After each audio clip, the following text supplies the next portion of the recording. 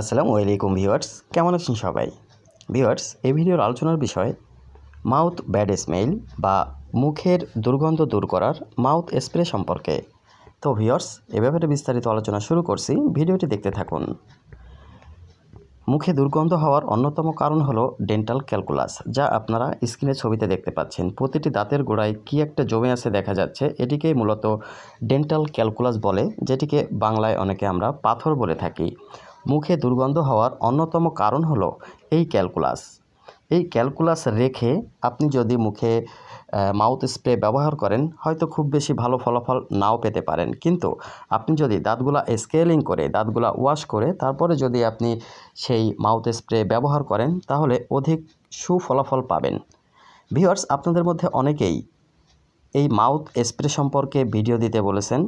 তো ভিউয়ার্স যদি আমি নির্দিষ্ট কোনো মাউথ স্প্রের কথা বলি, তাহলে সেটি অ্যাড দেওয়া হয়ে যাবে।